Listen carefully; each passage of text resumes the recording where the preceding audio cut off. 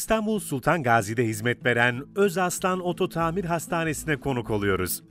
İlk olarak işletme sahibi Bayram Dündar bizlere bilgi veriyor. Evet değerli izleyenler bugün neredeyiz? Bugün Sultan Gazi'de Öz Hasan Oto Tamir Hastanesi'ne konuk alıyoruz. Tabii işletme sahibimiz yanımızda Bayram Dündar'la birlikteyiz. Öncelikle merhabalar. Merhabalar. Nasılsınız iyi misiniz? Sağ ol, teşekkür ederim. Siz nasılsınız? İyilikler. Kaç senedir biz bu işi yapıyoruz? Yaklaşık 20-25 seneden bu sektörün içindeyiz. Çok güzel.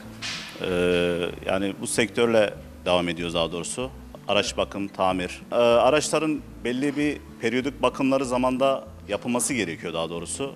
Ee, işte e, araçların mesela yani bozulmasının sebebi büyük nedenleri var yani. İşte bakımsızlıktan dolayı, işte e, zamansız bakım diyeyim öyle diyeyim size.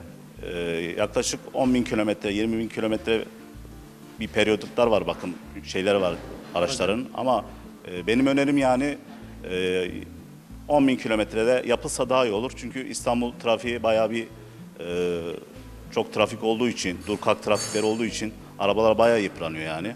İstanbul'da son zamanlarda biliyorsunuz e, genellikle araçları hol kullanıyorlar. Onlara ne söylemek istersiniz? Ya araçları hor kullanılır derken araçlara e, bakımları zamanda yapılmıyor daha doğrusu. Yani yani benim gördüğüm kadarıyla öyle yani. Çünkü ne dersiniz? Çünkü araçların yağları, suları zamanında kontrol edilmiyor. Aslında kontrol edilmesi gerekiyor. Bunu işte iki günde bir veya işte bir haftada bir işte bakılması lazım. Ee, benim önerim yani araçların genellikle yani şey yapmaları gerekiyor. Hani bakımları zamanda yapılması gerekiyor. İşte e, kontrolleri her zaman yapılması gerekiyor. İşte kontroller yapılmadığı için yolda kalıyor daha doğrusu. İşte nasıl yolda kalıyor? Ee, arabadan ses geliyor anlamıyorum. Zaten anlamaz gerçi müşteri. Ee, ya benim önerim yani ustalarına götürüp göstermesi gerekiyor yani en ufak bir ses gelse bile. Yani zamanda yapılsa yolda kalmaz diye düşünüyorum yani. Yani ben şunu anlıyorum diyorsunuz ki en azından sabahları arabaya binmeden önce bir marşı çevirmeden önce Tabii. en az da bir ekrana bakıp Aynen öyle. suyuna yağını bir kontrol etmeniz lazım. Bir Doğru mu? yağına suyunu kontrol etmesi gerekiyor yani sürücünün. Ee, peki e, bir motor yanmadan önce mesela uzun yol gidiyorsun aracın içinde su bitmiş. Evet. Kişi ne yapması lazım? Ya araç su bitmiş e, yani en müsait bir yere çekmesi gerekiyor. Bunun kaputunu açması lazım işte. E, arabanın başında beklemesi gerekiyor. Zaten hemen e, bazı şeylere müdahale etmemesi gerekiyor. Bunu ustasına danışması lazım yani müdahale etmeden önce. E, bu şekilde çözüm olabilir diye düşünüyorum yani. Evet çok iyi Bayram Bey. Tabii sizde kaporta yok. Sadece Biz mekanik- ya- yapmış olduğunuz tamirle ilgili biraz bahseder misiniz? Mesela burada lastik değiştirme var mı? Motor bakımı var mı? Yağ bakımı var mı? Ee, birazdan böyle içeriğini biraz geniş anlatır mısınız? Bizim burada yapılan işlemler e, genellikle bakım diye tabiri caizi. E, motor revizyonu yapıyoruz yani daha doğrusu. Şimdi de mikrofonumuzu işletme müdürü Şafak Aslan'a uzatıyoruz. Yanımızda işletme müdürümüz Şafak Hasan'la birlikteyiz. Öncelikle merhabalar. Merhabalar, hoş geldiniz. Nasılsınız, iyi misiniz? Teşekkür ederim, sizleri sormalı. Kaç senedir oto tamir işiyle uğraşıyoruz? Yaklaşık 20'li aşkındır bu sektörle uğraşmaktayız.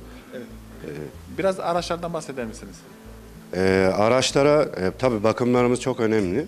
Ee, öncelikle biz gelen araçların özellikle yani fren ve yürür aksamına daha çok dikkat ediyoruz. Çünkü fren insan hayatı için de önemli. Evet. Tabii sadece bunu frenle odaklamamak lazım. Arabanın bütün her şeyi e, gerekli bir şeydir. Yani silecek bile çok önemli bir parçadır. E, düşünün ki yağmur yağdı, önünüzü göremiyorsunuz gibi gibi. Yani en ufak detayına kadar dikkat etmek gerekir. Süren insanlar için onlar neye dikkat etmesi lazım? Biraz da onları aydınlatabilir misiniz? Ya insanların e, genelde tabii çoğusu özellikle sadece kullanımla ilgilendiği için araç işte tamir ve montajından pek anlamadıkları için bize zaten başvuru yapıyorlar. E, biz de gereken bütün ilgiyi araçlar üzerinde göstermeye çalışıyoruz yani. Tabii aracın biz sadece frenden bahsettik. Diğer eee, alanlarda biraz konuşabilir misiniz? Tabii ki ön takım olsun, yürür aksam olsun, lastikler olsun. Yani tabii ki sadece frenden ibaret değildir bir araç yani. Bunların her detayını biz burada kontrol ediyoruz uzman kadromuzla birlikte. Biraz bakımlardan da bahseder misiniz? E, bakımlarımız tabii ki önemli. Özellikle e, İstanbul içinde işte normalde 20 bin gibi kilometreler söylüyorlar ama aşırı trafikte kaldığımız için bu kilometreleri mümkün olduğunca daha da aşağı çekmek gerekir yani.